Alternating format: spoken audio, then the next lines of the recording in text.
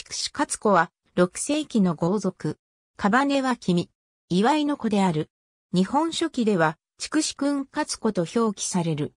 日本書紀によると、慶太天皇21年から同22年に、父の祝いと朝廷軍との間に戦いが発生したが、慶太天皇22年11月に祝いは廃止した。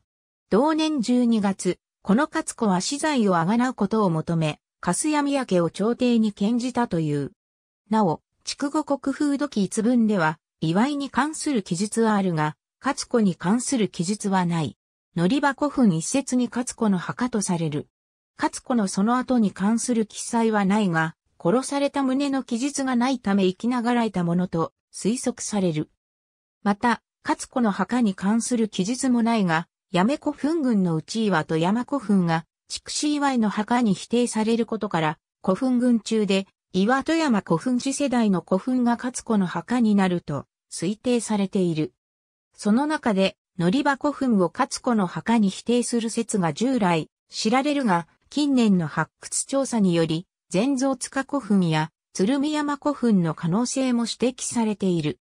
日本書紀において、筑紫勝子が献じたとする、粕谷宮家の記述は、献じた土地を大和王権側で宮家と定めたものとされるが、この記述を大和王権側の視点による殉職とみなして、実際には王権が自ら筑紫君の支配域内に設定したと推測する説がある。